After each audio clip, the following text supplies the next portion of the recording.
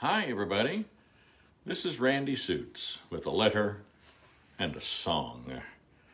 Our letter for 19 January is Love That Keeps Giving.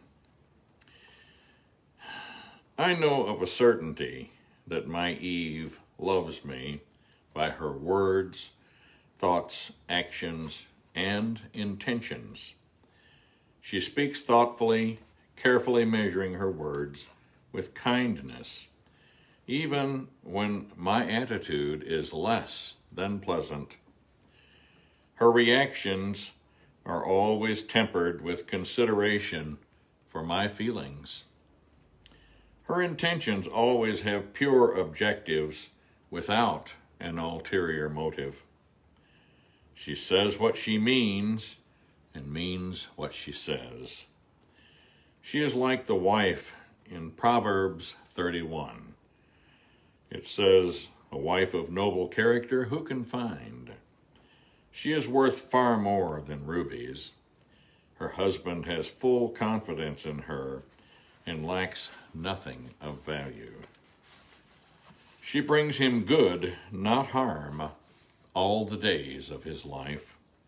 Her children rise up and call her blessed, her husband also, and he praises her. Many women do noble things, but you surpass them all.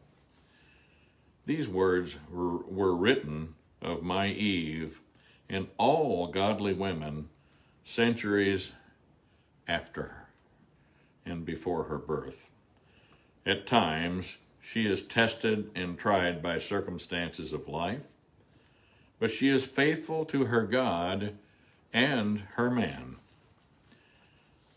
This fidelity is the fabric that enables a man to stay the course for her in tough times when he would normally throw in the towel of surrender. When a man and a woman stand together in faith, believing in Christ Jesus, the Most High God stands with them. God created all men. It is written, and God created man, male and female, created he them. And he created us to be godly and pure. It is written, Stand still and know that I am God. It is most pleasing to stand with Eve, for she never comes between our God and me. She actually strengthens my walk with our Lord. God instituted all the concepts of a union between a man and woman that glorify God and bless mankind. In my Eve, the woman he gave me, I have the love that keeps giving. Blessings and peace in Jesus Christ our Lord. Your Kohane. When we realize and understand these things, then we have a full appreciation of all that God does for us and all that He has given us and the plan that we fulfill when we align our will with His and love one another as husband and wife. And also, as we love each other as friends and uh, brothers and sisters in Christ. Jesus said, In this shall all men know that ye are my servants, that you love one another. So let's love one another and also, husbands, love your wives and your children. Uh, for it is written also that in the last days the fathers shall turn their hearts to the children and be concerned about the godliness of the ways of their children.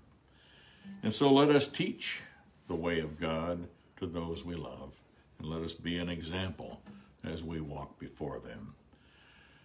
And now we're the song for today is My Cup Runneth Over with Love. Sometimes in the morning when shadows are deep I lie here beside you, just watching you sleep. And sometimes I whisper what I'm thinking of. My cup runneth over with love.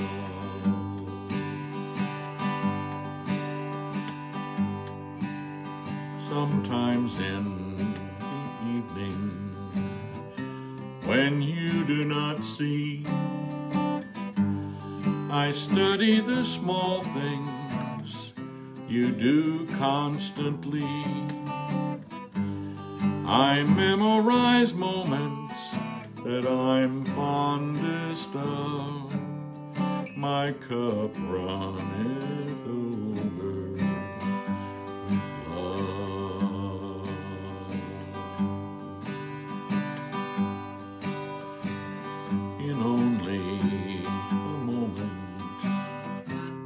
both will be old.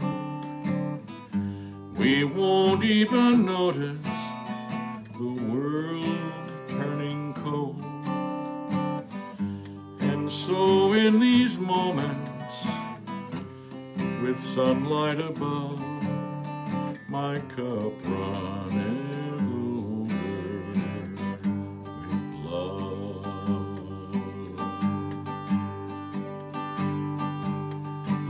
My cup runneth over with love.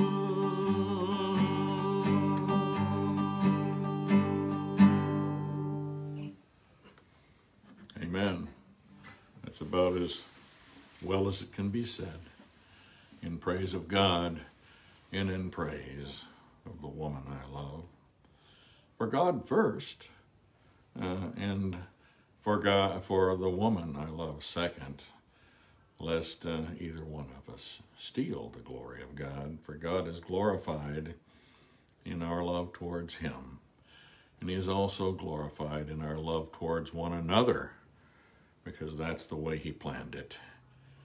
And uh, hundreds, and in fact, millions of people are receiving the blessings of marriage uh, through the kindness and the love of the Most High God. He planned it this way. Let's receive it the way He gave it and give thanks for the power of God. And now, my friends, may the Lord, even the Most High God, be with you in all that you think, say, do, and are. Thank you for being, and may God be with you. We'll see you again soon, God willing.